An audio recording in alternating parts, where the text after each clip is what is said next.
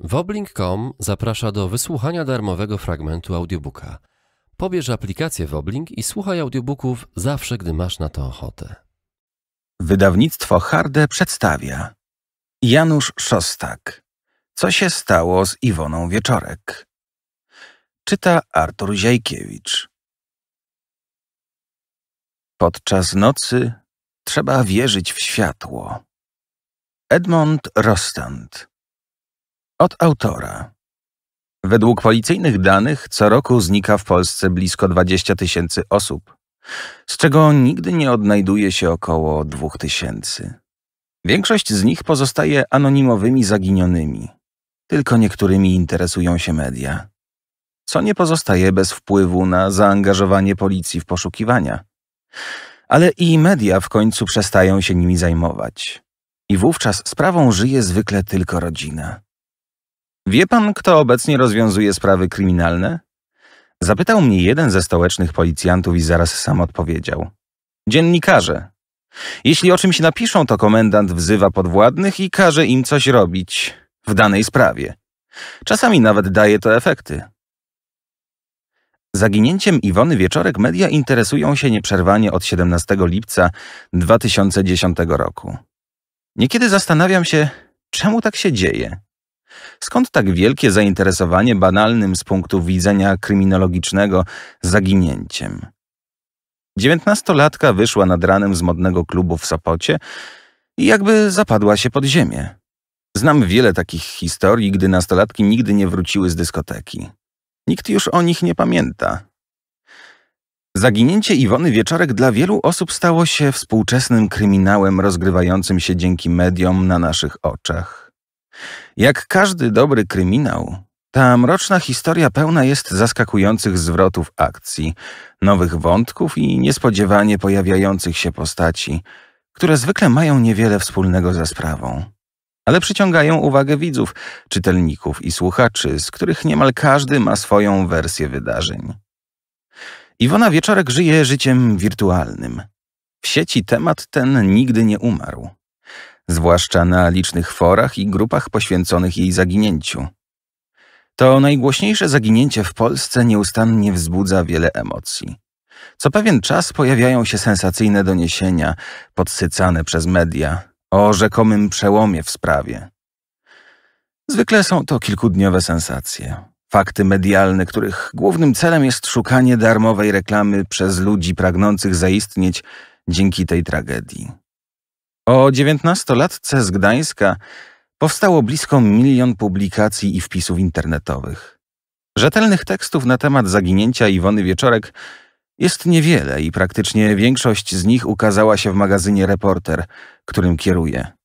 To na łamach tego czasopisma wnikliwe analizy zaginięcia nastolatki przedstawiali m.in. Marta Bilska i Mikołaj Podolski. Od 2015 roku sprawą Iwony Wieczorek zainteresowałem się także ja. Uważam, że aby w pełni poznać tę historię, trzeba sięgnąć po jej akta. Nie zrobił tego nikt wcześniej. Jestem jedynym dziennikarzem w Polsce, który czytał akta sprawy Iwony Wieczorek. Mam też ich fotokopię. Wraz z fundacją Na Tropie, którą kieruję, prowadziłem i nadal prowadzę poszukiwania ciała Iwony Wieczorek. Bowiem w to, że Iwona żyje, nie wierzy chyba już nikt. Zebrałem w tej sprawie wiele materiałów, które przekazałem policji. Składałem też zeznania na temat ewentualnych sprawców porwania i ukrycia ciała nastolatki. Na podstawie moich wskazówek i zeznań prowadzona była duża akcja poszukiwawcza w Gdańsku, podczas której znaleziono między innymi ślady krwi. Co się stało z Iwoną Wieczorek? Na to pytanie nie udało się do tej pory odpowiedzieć śledczym. Nie potwierdzono ani nie wykluczono praktycznie żadnej wersji zniknięcia nastolatki. Sprawa Iwony Wieczorek od początku nie miała szczęścia. Pewnie gdyby śledztwo było prowadzone od początku profesjonalnie, zniknięcie nastolatki z Gdańska dawno zostałoby rozwikłane. Wbrew temu, co twierdzą niektórzy, nie jest to najtrudniejsza z zagadek kryminalnych w Polsce. W 2017 roku przekazałem jednemu z bliskich współpracowników ministra Zbigniewa Ziobry informacje związane z działalnością trójmiejskich stręczycieli – w tym osławionego Krystka oraz dotyczące zaginięcia Iwony Wieczorek. W maju 2018 roku dowiedziałem się, że akta oraz materiały dowodowe trafiły do prokuratury krajowej w Warszawie. Być może w końcu nastąpi w tej sprawie długo oczekiwany przełom, gdyż w marcu 2019 roku sprawą zajęli się śledczy z Archiwum X Małopolskiego Wywiadu Zamiejscowego Prokuratury Krajowej w Krakowie. Archiwum X wykorzystuje nowe technologie oraz wiedzę najbardziej doświadczonych polskich i zagranicznych biegłych i instytucji badawczych. Stosuje niestandardowy sposób badania dowodów i nieszablonowo podchodzi do ich oceny. Archiwum X rozwikłało już wiele tajemniczych zbrodni. W niniejszej książce przedstawiam wszystkie istotne wątki oraz większość hipotez dotyczących zaginięcia Iwony Wieczorek. Nie tylko tych, do których jest mi najbliżej.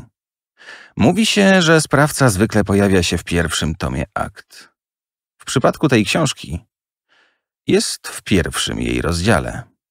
Jednak by zrozumieć, kim może być ta osoba, trzeba przeczytać całość co mam nadzieję Państwo uczynią. Janusz Szostak 1. Ostatnia noc Iwony Było piątkowe popołudnie 16 lipca 2017 roku. Iwona Wieczorek przyszła do mieszkania swojej młodszej koleżanki, Adri, by przygotować się na wyjście do jednej z sopockich dyskotek. Dziewczyny mieszkały nieopodal siebie na tym samym osiedlu. Iwona wychodząc z domu powiedziała, że po dyskotece zanocuje u Adri. Nastolatka przebrała się, a ciuchy, w których przyszła do koleżanki, spakowała w reklamówkę. Zostawiła też u niej czarną torebkę. Tego popołudnia nastolatka ubrała się w granatową spódnicę i bluzkę w biało-granatowe paski. Całość dopełniały szpilki z granatowego zamszu. Były to nowe buty jej mamy, która nie miała pojęcia, że córka włożyła je na dyskotekę. Dziewczyny planowały spędzić ten wieczór w dyskotece Dream Club przy popularnym Monciaku w Sopocie. Umówiły się na wypad do klubu z trzema kolegami, Pawłem, zwanym Browarem, Markiem i Adrianem. Wieczór zapowiadał się atrakcyjnie, mimo że Iwona znała chłopaków krótko. Pawła, który tego wieczoru miał być jej partnerem, Poznała trzy miesiące wcześniej. Trudno było ich uznać za parę. Iwona na pewno nie traktowała go jako swojego chłopaka, a i Paweł nie był zaangażowany w ten związek. Zdarzenia, jakie miały miejsce w noc zaginięcia Iwony Wieczorek, śledczy odtworzyli na podstawie zeznań świadków popartych wykazem połączeń telefonicznych oraz zapisem z monitoringu. Prześledźmy więc, co wydarzyło się w nocy z 16 na 17 lipca 2010 roku. 16 lipca 2010 roku o 22.30 po Iwonę Wieczorek i Adrię S. przyjeżdżają Paweł P., Adrian S. i Marek O. Wspólnie jadą do Sopotu Toyotą należącą do matki Pawła. Wiadomo, że o godzinie 22.59 znaleźli się w Żabce na Alei Niepodległości, co potwierdził zapis z monitoringu. Kupili tam około dwóch litrów alkoholu, whisky oraz wódkę. Prosto ze sklepu pojechali na działkę babci Pawła. Mężczyzna zostawił tam znajomych, a sam pojechał odstawić samochód do babci. Miał u niej nocować po imprezie i wziąć od niej klucze do domu na działce. Wrócił po 15 minutach. Rozpoczęli typową młodzieżową rozgrzewkę przed nocną imprezą, aby nie przepłacać za drinki w klubie. Była altanka, był ciepły letni wieczór, był alkohol, czyli wszystko, czego potrzeba, aby wprawić się w imprezowy nastrój. Pisała Marta Bilska w artykule 5 lat bez Iwony. Reporter 5-6 przez 2105. Pili raczej ostro. Iwonie wyraźnie zaszumiało w głowie, gdyż o 23.48 wysłała SMS-a do swojej przyjaciółki Katarzyny P., która bawiła się tej nocy na innej imprezie. Napisała: Jestem pijana. Mimo, że Iwona miała towarzystwo, to tego wieczoru często korzystała z telefonu. Pytała innych swoich znajomych, gdzie się znajdują i co robią, jakby kogoś szukała, a nie chciała sama do niego zadzwonić. Około północy wysłała do kolegi SMS-a o treści: Co robisz? na który on od razu odpowiedział: Jestem w Krynicy. Około północy czterdzieści drugiego chłopaka, z którym znała się od dwóch miesięcy, zapytała: Gdzie jesteś? Odpisał: Jestem we wrzeszczu, a ty? Na to już nic nie odpowiedziała. Być może wypity w nadmiarze alkohol był przyczyną kłótni, do jakiej doszło na działce między Iwoną a Pawłem. Ale awantura tak samo szybko zgasła, jak wybuchła.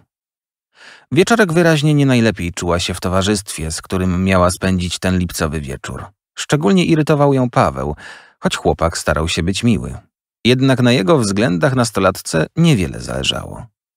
Myślami była przy innym mężczyźnie. O północy wszyscy opuścili działkę i poszli na postój przy Alei Niepodległości.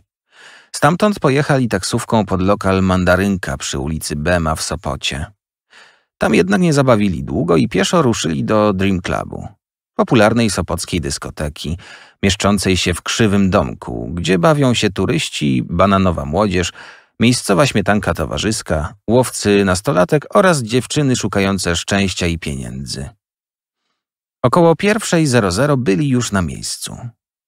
Adria podczas zeznań twierdziła, że w klubie nie piły z Iwoną żadnego alkoholu. Zatem nie było możliwości, by ktoś dosypał jej koleżance czegokolwiek do picia.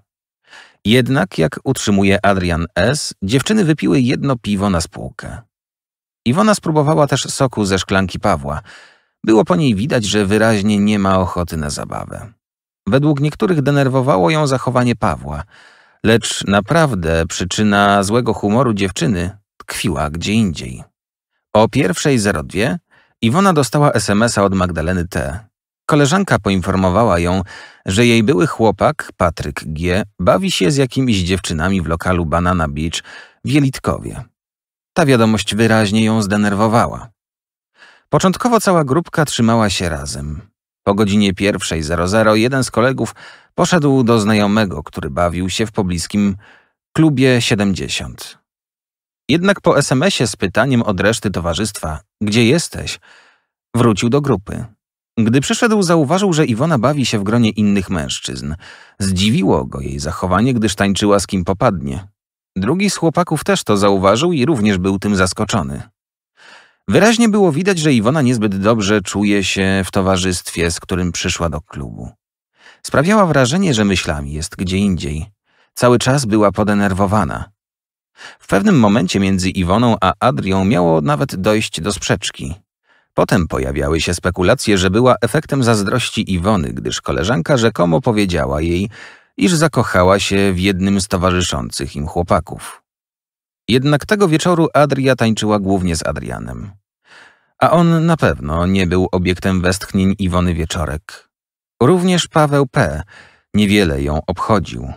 Co prawda przyszedł jako jej partner, ale się nią nie zajmował, nie rozmawiał i nie tańczył z Iwoną. W zasadzie w ogóle nie tańczył, tylko popijał piwo i ucinał pogawędki z ochroniarzami. Mówili ponoć o jakichś interesach. W końcu w klubie pojawiła się Ania, dziewczyna, którą Paweł znał i lubił. Zajął się rozmową z nią, co jednak nie wywołało żadnej reakcji Iwony, bowiem Paweł, jak już wspomnieliśmy, był jej całkowicie obojętny. Iwona Wieczorek była bardzo zazdrosna, ale o swojego byłego chłopaka, Patryka G., a on był bardzo zazdrosny o nią. To były osoby, które niby się rozstały, a tak naprawdę wzajemnie im na sobie zależało. Wyjaśnia relacje między tą dwójką Marek Siewiert, analityk z Komendy Głównej Policji, który zajmował się tą sprawą. I to, że Iwona wyszła z klubu zdenerwowana, nie było spowodowane tym, że źle się tam bawiła, lecz dlatego, że ciągle myślała o Patryku. Gdy dostała SMS-a od koleżanki, że Patryk bawi się z innymi dziewczynami w Banana Beach, trafił ją szlak. Postanowiła coś z tym zrobić. Prawdopodobnie dlatego sama poszła w stronę domu, gdyż miała nadzieję, że po drodze spotka Patryka. Gdy o 2.00 Marek O. postanowił zmienić klub na atelier, Iwona wyszła z nim wówczas na ulicę. Żaliła mu się, że nie ma ochoty bawić się dalej. Mimo to wróciła do Drink Clubu. Jednak nie na długo. O 2.50 Iwona ponownie wyszła z lokalu, a za nią podążyła reszta jej towarzystwa. Przed budynkiem Paweł próbował zatrzymać Iwonę. Chciał nawet przytulić, ale ona krzyczała, żeby ją puścił. Trudno się dziwić, że była agresywna. Paweł na pewno nie był facetem, którego bliskości potrzebowała w tym momencie. Chciała natychmiast wracać do domu, tak przynajmniej powtarzała. Znajomi starali się jej wytłumaczyć, że wrócą wspólnie, Jednak bez powodzenia. W końcu dziewczyna samotnie oddaliła się w kierunku Sopockiego Molo. O tym, co działo się pod Dream Clubem, zeznała Stefania W. To kobieta, która tej nocy sprzedawała kwiaty pod sopockimi klubami. Około trzeciej w nocy byłam pod krzywym domkiem. Zaobserwowałam, jak wyszła z niego grupa osób. Wśród nich była znana mi ze zdjęć prezentowanych w mediach Iwona Wieczorek. Oni rozmawiali ze sobą. W pobliżu tej grupy zauważyłam stojących trzech mężczyzn, powiedziała w czasie przesłuchania kwiaciarka, której uwagę szczególnie zwrócił jeden z nich. Widać było, że on pożąda Iwony. Intensywnie wpatrywał się w nią, ale nie słyszałam, aby się do niej odezwał. Ten mężczyzna według mnie zachowywał się dziwnie i może mieć związek z zaginięciem Iwony Wieczorek. Jak go zobaczyłam, to sama się przestraszyłam. Kwiaciarka opisała go następująco. Był w wieku około 30-40 lat, wzrostu około 180 cm, szczupłej budowy ciała, cerę miał bardzo bladą, włosy krótkie, jasne. Miał wystające kości policzkowe i charakterystyczną mimikę twarzy. Przez skórę widziałam, jak poruszają się jego ścięgna i mięśnie. Ubrany był na jasno. Kobieta twierdzi, że gdy Iwona i jej znajomi wrócili do klubu, wówczas wszedł tam również ten mężczyzna ze swoimi kolegami. Widziałam także moment, jak Iwona Wieczorek po jakimś czasie ponownie wyszła z krzywego domku z grupą swoich znajomych. Nie widziałam wtedy po raz drugi mężczyzny, którego rysopis wcześniej podałam. Wówczas Iwona Wieczorek sprzeczała się z kimś. Następnie odeszła od tej grupy i poszła sama ulicą, ale nie wiem gdzie. Jednak gdy Stefanii W. odtworzono nagrania monitoringu z Drink Clubu, nie rozpoznała na nich mężczyzny sprzed budynku. Pokazano jej także zdjęcia z monitoringu, na których widać mężczyznę z ręcznikiem. Mam wrażenie, że ten, pan ręcznik na okazanych mi fotografiach to ten sam, którego widziałam pod krzywym domkiem w Sopocie, stwierdziła. Na podstawie jej zeznań próbowano stworzyć portret pamięciowy mężczyzny z ręcznikiem. Jednak jak zauważa biegła Iwona Zeiger, podjęte próby odtworzenia wyglądu nie przyniosły rezultatu z uwagi na niemożność dobrania przez świadka kształtu jakichkolwiek elementów twarzy. Wobec tego biegła sporządziła rysopis na podstawie ogólnych informacji o wyglądzie mężczyzny, którego kwiaciarka widziała pod Dream Clubem. Ten rysopis policja upowszechniła jako portret pamięciowy mężczyzny z ręcznikiem. Bezsprzecznie ustalono, że gdy Iwona szła nad morskim deptakiem, kontaktowała się z Adrią i Adrianem, a także jednostronnie z Pawłem P., Katarzyną P. i znajomym Kamilem D. Analitycy z KGP stwierdzili także, że feralnej nocy tajemniczy numer komórkowy logował się w pobliżu Iwony. Jakby ktoś za nią podążał. Ten numer został również zarejestrowany przez stację przekaźnikową niedaleko mieszkania nastolatki. Analitycy określili go jako numer poruszający się po drodze tożsamej. Czy ktoś śledził Iwonę, szedł za nią krok w krok? Czy mógł to być jej morderca? Taka wersja znalazła się w jednym z artykułów opublikowanych w tygodniku Polityka i przez pewien czas wzbudzała domysły oraz silne emocje. Niepotrzebnie, gdyż pojawienie się tak zwanego telefonu tożsamego nie miało jednak nic wspólnego ze zniknięciem Iwony Wieczorek. Z tym telefonem wracała do domu Ania, ta dziewczyna, którą Paweł P. spotkał w Dream Clubie. Wyjaśnia Marek Ziewert.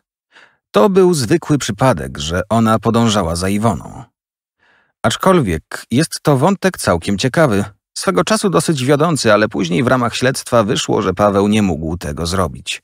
Nie miał takiej możliwości. No i jaki miałby motyw? Zresztą skąd miał wiedzieć, gdzie w danym momencie jest Iwona? Nikt z tej grupy, z którą wybrała się do klubu, nie wiedział, jak ma zamiar postąpić, dokąd mogła pójść. W aktach sprawy czytamy, że po odejściu Iwony spod klubu Adria z chłopakami skręciła w boczną uliczkę, by zadzwonić do Iwony. Z tej uliczki kilkakrotnie dzwoniono do Iwony, namawiając ją, żeby wróciła, że na nią czekają.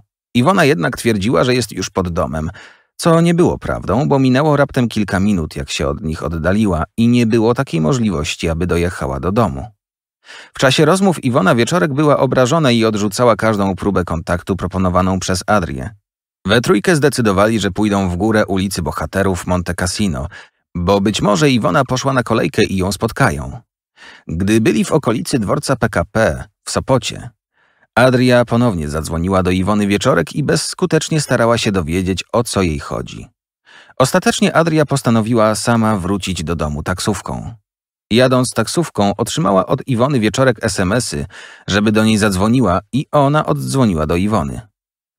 Iwona powiedziała, że jest przy wejściu na plażę w Sopocie, drugie lub trzecie wejście od mola.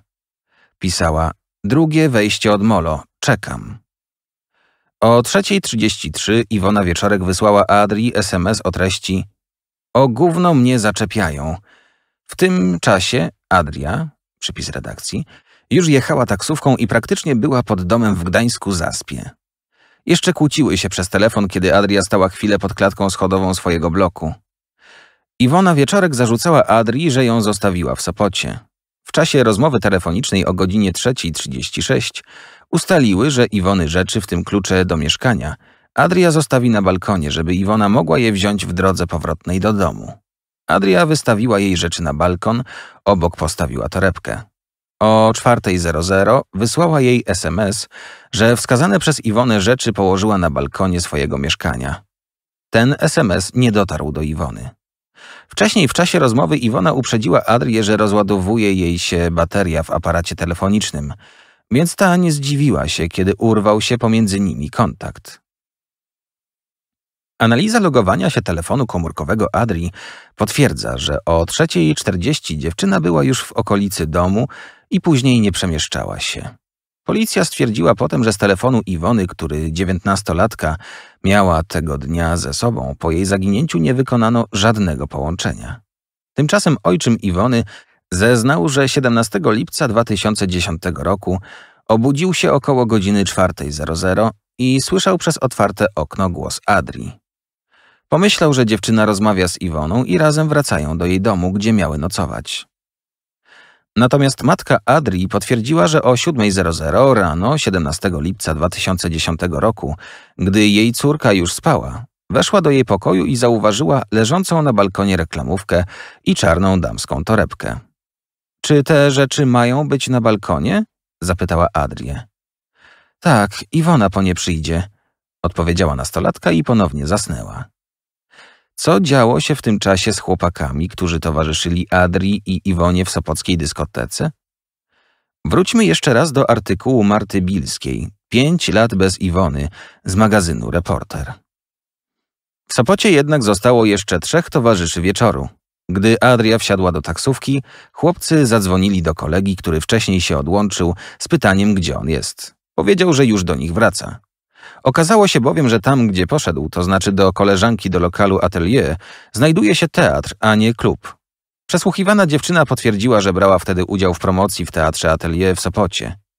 Z chłopakami Iwona również wymieniła SMSy. O 3.49 padł jej, mocno tego wieczoru eksploatowany, telefon i już nikt nie miał z nią kontaktu. Po chłopaków przyjechał natomiast kumpel, białym BMW. Około 3.50 odebrał ich spod baru kebab obok dworca PKP w Sopocie.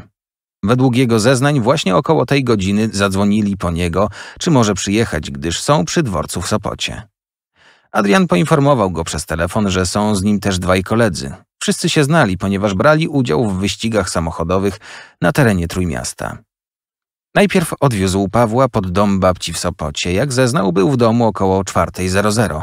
Potem pozostałych kolegów na osiedle Nowiec i na ulicę Słowackiego, po czym około 4.25 wrócił do domu na stogi, co potwierdza jego dziewczyna. Z analizy miejsc logowania i billingów wynika, że w godzinach nocnych poruszał się na terenie Gdańska, Sopotu i Rumi. Pokrywa się to z jego zeznaniami, że bierze udział w wyścigach samochodowych.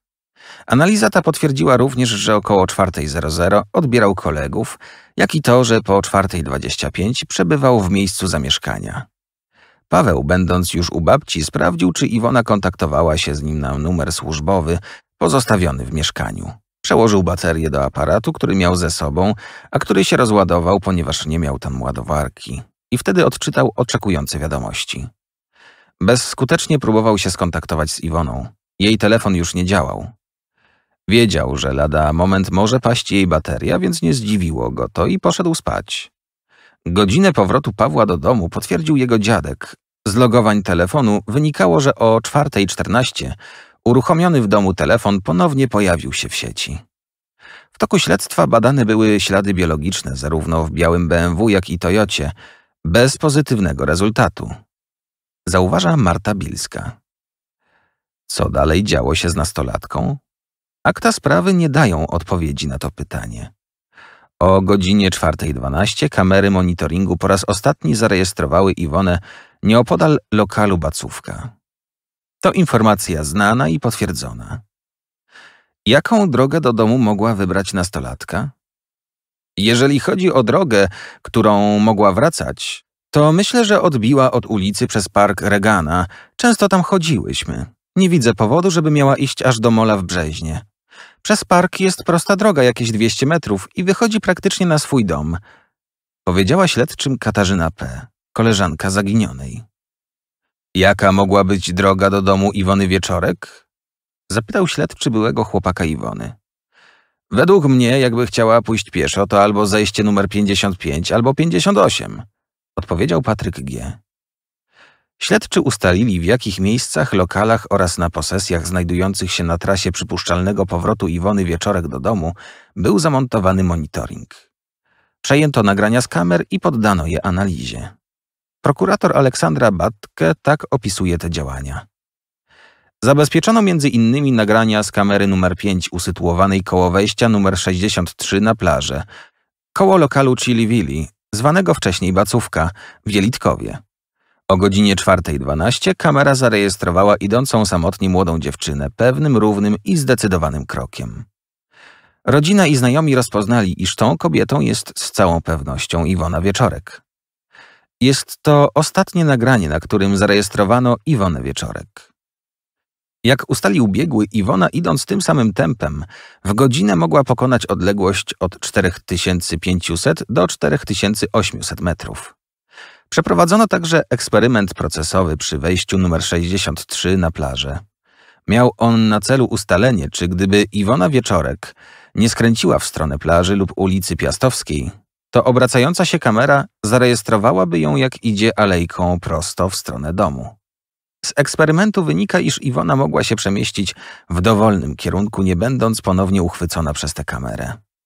Mogła zatem również pójść prosto. Przesłuchano osoby ustalane w oparciu o nagranie z monitoringu, które znajdowały się koło wejścia numer 63 w czasie, gdy Iwona samotnie wracała w stronę domu, dodaje prokurator. Od domu dzielił ją tylko kawałek promenady oraz pas parku Regana. Dziewczyna idzie boso. Buty trzyma w ręku, ma na sobie dwukolorowe ubranie i bransoletkę na prawym nadgarstku. Niesie torebkę. Jej chód jest dynamiczny. Monitoring z okolicy wejścia na plażę numer 63 to ostatni ślad po Iwonie. Z ujęcia z kamery nie wynika, w którą stronę poszła i dokąd dotarła. Mogła się udać w dowolnym kierunku, co potwierdził eksperyment przeprowadzony na podstawie cyklu obrotowego kamery. Natomiast monitoring z klubu Banana Beach nie zarejestrował zaginionej. Mówi prokurator Grażyna Wawryniuk, rzecznik prasowa prokuratury okręgowej w Gdańsku. Idąc deptakiem nastolatka mogła spotkać kogoś znajomego, na przykład osoby wracające z urodzinowej imprezy odbywającej się nad stawem w parku. Wydaje się to bardzo możliwe, gdyż z analizy Marka Ziverta wynika, że Iwona idąc z Sopotu do wejścia numer 63 prawdopodobnie zatrzymała się gdzieś po drodze. Wskazuje na to ocena czasu pokonania tego odcinka przez dziewczynę. Według analityka KGP o tej godzinie powinna być już co najmniej kilometr dalej. 2. Patrol na bulwarze. Analizując ujęcia z kamer monitoringu, policjanci szukali osób, które w tym czasie pojawiły się na trasie Iwony nad ranem 17 lipca 2010 roku. Było ich bardzo wiele. Większość z nich przesłuchano. Oto fragmenty niektórych zeznań. Około dwa tygodnie temu ktoś ze znajomych zadzwonił do mnie i powiedział, żebym obejrzał film z monitoringu z nocy, kiedy zaginęła Iwona Wieczorek, bo chyba na nim jestem. Ja obejrzałem ten film i faktycznie rozpoznałem się na nim. Wychodziłem akurat z knajpy Chili Willy, czyli bacówki, z dziewczyną, którą wówczas poznałem. Nie kojarzę żadnej samotnie idącej dziewczyny w rejonie Chili Willy. Nie kojarzę, abym ją kiedykolwiek widział. Nie słyszałem o taksówkarzu, który proponuje podwiezienie dziewczynom za darmo. Zeznał mężczyzna, który sam zgłosił się na policję. Podobnie kolejny przesłuchany. Kolega zadzwonił do mnie i powiedział, że jesteśmy widoczni na zapisie monitoringu koło Bacówki w dniu zaginięcia Iwony Wieczorek. Nie przypominam sobie, abym widział ją tego dnia. Zaznacza i dodaje, że on także nie słyszał o taksówkarzu, który poluje na samotne dziewczyny. O natrętnym taryfiarzu, którego wątek stale powraca w pytaniach śledczych, nie słyszał także kolejny przesłuchiwany. Wracaliśmy deptakiem równoległym do plaży do wejścia 63, gdzie złapał nas monitoring. Nie przypominam sobie żadnej samotnie idącej dziewczyny, ani żadnych poszczególnych osób, które mijaliśmy. Deptak nie był pusty, chodziły tam osoby. Nie wiem nic na temat tego, aby dziewczyny były zaczepiane w rejonie bacówki przez taksówkarza.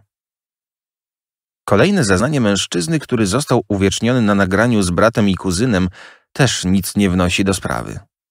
Widziałem zapis z monitoringu lokalu sanatorium. Na tym nagraniu jest cała nasza trójka. Na tym nagraniu widać przechodzącą obok nas Iwonę Wieczorek, ale wówczas ja jej nawet nie zauważyłem. Nie widziałem, aby ktoś za kimś szedł, kogoś gonił. Nikt nie wzywał pomocy. Stwierdza zdecydowanie świadek. Mężczyzna, który wracał z siostrą z Sopotu, zeznał. My wówczas zmierzaliśmy w stronę naszego domu. Nie zauważyłem podczas naszego przejścia niczego niepokojącego. Nikt nie uciekał, nikt nie wzywał pomocy, nikt z nikim się nie szarpał. Śledczym nie pomogła także relacja człowieka zbierającego w tej okolicy butelki i puszki po piwie. Kiedy szedłem ulicą Piastowską w kierunku wejścia na plażę numer 63, około godziny 4.00 spotkałem znajomą. Chwilę rozmawialiśmy. Ja miałem przy sobie wycinek z gazety z ciekawym artykułem o zabójstwie przy ulicy Jagiellońskiej w Gdańsku. Ona go przeczytała, staliśmy tak około 10 minut. Nie widziałem samotnie idącej młodej blondynki. Tej nocy znalazłem tylko puszki i butelki. Nie znalazłem żadnych elementów ubioru damskiego, torebki czy biżuterii. Nie słyszałem o żadnym taksówkarzu, który proponowałby kobietom darmowe podwiezienie. Kolejny świadek stwierdził. Chyba żona powiedziała mi, że jestem z kolegami na monitoringu. Na plaży i na deptaku nie widziałem jakichś osób, które zaczepiałyby kobiety, dziwnie i agresywnie zachowywały się. Przesłuchiwano też pracowników okolicznych barów i smażalni, taksówkarzy, obsługę dmuchańców na plaży czy załogę karetki pogotowia, która tankowała na pobliskiej stacji paliw. Wszyscy oni powtarzają niezmiennie: Nie widziałem, nie słyszałem, nie znałem. O ile zeznania przesłuchiwanych osób nic nie wniosły do sprawy, to warta uwagi jest analiza monitoringu dokonana przez specjalistę z Komendy Głównej Policji. Mieliśmy sporo szczęścia, że kamera przy wejściu na plażę numer 63 uchwyciła Iwonę Wieczorek. Mówi mi Marek Ziwert.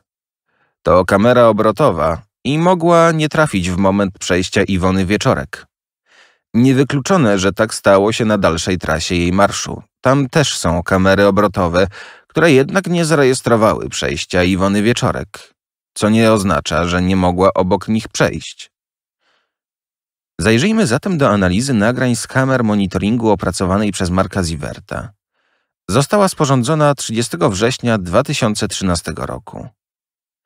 Po zapoznaniu się z zapisem nagrania pochodzącego z kamery usytuowanej przy wejściu na plażę numer 63, Bacówka, stwierdziłem, że o godzinie 4.04 12 sekund deptakiem w kierunku Molo na Zaspie idzie dwóch mężczyzn. Zarejestrowani oni zostali także przy Molo na Zaspie o godzinie 4.24 50 sekund, a zatem przebyli oni odległość około 1500 metrów w czasie 20 minut 38 sekund. W chwili, gdy Iwona Wieczorek przechodziła deptakiem obok kamery o godzinie 4.12-17 sekund, za nią w odległości 20 metrów szedł również mężczyzna, określany jako pan z ręcznikiem. W tym czasie dwaj mężczyźni przeszli już około 500 metrów. Po przejściu Iwony Wieczorek i pana ręcznika, kamera monitoringu odnotowała kolejne przemieszczające się w tym samym kierunku osoby. Biorąc pod uwagę, że Iwona Wieczorek szła już w tym czasie z prędkością 4 km na godzinę, a odcinek deptaka równoległego do plaży wynosił około 800 metrów, Od kamery do ścieżki alejki prostopadłej do morza i ciągnącej się przez park Regana, która dalej kończy się ulicą Dąbrowszczaków. Od kolejnej kamery i alejki prowadzącej w kierunku ulicy Czarny Dwór Iwonę dzieliło około 100 metrów. Powinna tam być po 16 minutach marszu. Bez względu na to, czy skręciłaby w ścieżkę, deptak numer jeden czy dwa, to powinna być w kontakcie wzrokowym osób, które podążały za nią na piechotę, a tym bardziej z osobami jadącymi rowerami. Kobieta idąca deptakiem, która pojawiła się w obiektywie kamery o godzinie 4.22.22 sekundy, idąca z kierunku, w którym szła Iwona wieczorek, powinna się z nią mijać. Natomiast rowerzyści dogonili ją, zanim doszła ona do alejki prowadzącej w kierunku ulicy Dąbrowszczaków. Przyjęto, że rowerzyści poruszali się 15 km na godzinę. O godzinie 4.24 8 sekund w nagraniu pojawia się oznakowany radiowóz policyjny załogi patrolowej, który przyjechał deptakiem w kierunku, w którym szła Iwona Wieczorek i inne osoby. Policjanci odcinek w kierunku ulicy Dąbrowszczaków przejechali poniżej dwóch minut, przyjmując prędkość 30 km na godzinę. Mogli zatem nie zauważyć Iwony, jeżeli skręciła w kierunku ulicy Dąbrowszczaków. Powinni natomiast minąć ją, jeżeli szła dalej do alejki prowadzącej bezpośrednio w kierunku ulicy Czarny Dwór. Zauważa w swojej analizie Marek Ziewert. Ja tego radiowozu szczerze mówiąc nie widziałem na drugiej kamerze, która jest w Brzeźnie, a powinien się tam pokazać, gdyby pojechał prosto. W stronę morza nie pojechał, zatem skręcił w którąś z alejek w parku Regana. Być może szła nią wówczas Iwona Wieczorek. Przekazuje mi inny były policjant zajmujący się przed laty tą sprawą i dodaje. Policjanci ją znali. Ci z radiowozu też ją znali? Dopytuje. Spotykała się z policjantem z prewencji. Przyjmijmy hipotetycznie, że byli to koledzy jej znajomego policjanta. Pewnie byli i zapewne znali Iwonę. Nie da się wykluczyć, że spotkali ją po drodze.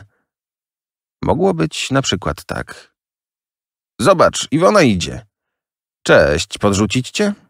A dlaczego nie? Odpowiedziała zmęczona spacerem nastolatka i wsiadła do radiowozu.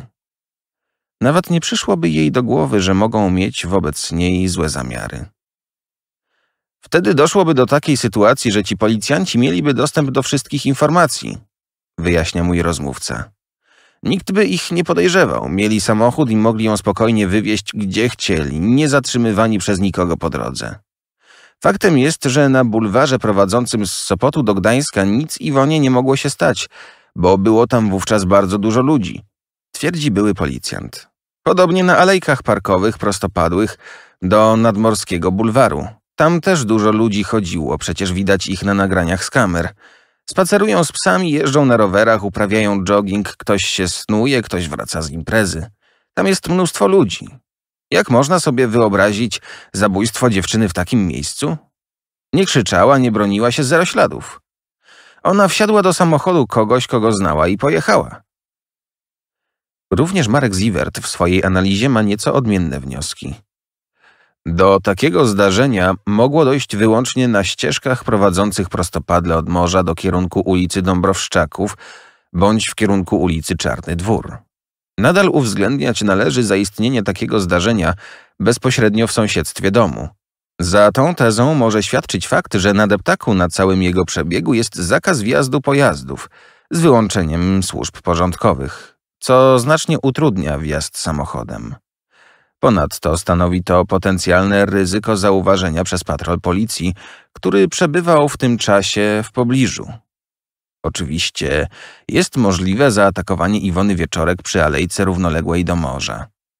Jednak należy brać pod uwagę fakt, że posiadała ona ze sobą przedmioty, które w trakcie ataku zostałyby przez nią porzucone i w efekcie poszukiwań znalezione. Na przykład para butów trzymała je w dłoniach, torebka, telefon.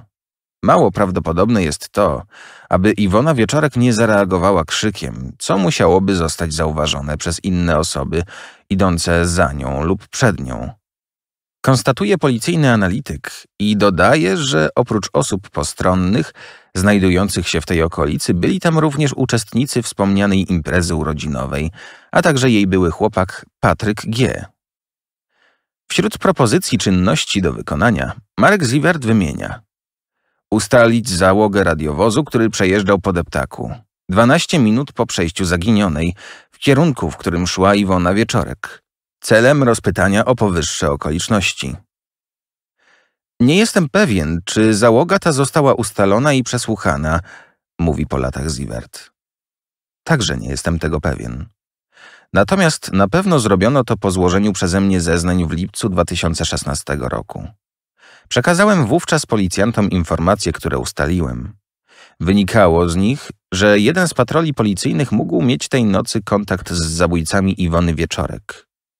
30 sierpnia 2016 roku komisarz Mariusz Meyer, naczelnik Wydziału Dochodzeniowo-Śledczego Komendy Wojewódzkiej w Gdańsku, wystąpił do komend policji w Gdańsku i Sopocie o udzielenie informacji dotyczących służb pełnionych przez funkcjonariuszy w dniu 16 na 17 lipca 2010 roku w godzinach od 22 do 8 ze wskazaniem danych funkcjonariuszy, godzin pełnienia służby, rejonu, danych pojazdów w przypadku patroli zmotoryzowanych oraz, jeżeli są dostępne, kopiami notatników służbowych.